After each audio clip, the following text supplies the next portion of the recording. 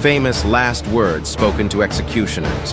When the French Queen Marie Antoinette ascended the stairs to the guillotine, she accidentally stepped on the executioner's foot and said, Pardon me, monsieur, I did not do it on purpose. Mary Queen of Scots' executioners knelt down before her and begged for Her Majesty's forgiveness. She replied, I forgive you with all my heart, for now I hope you shall make an end of all my troubles. Robert Childers, the Irish politician, told his firing squad, Take a step forward, lads. It will be easier that way. The man died with honor as he made his son promise him to shake the hand of every judge who signed his death sentence. Henry VIII condemned St. Thomas More to death for not accepting his supremacy to the church. As the executioner lifted his axe, More asked him to wait and carefully laid his beard away from the blade, saying, This has not offended the king.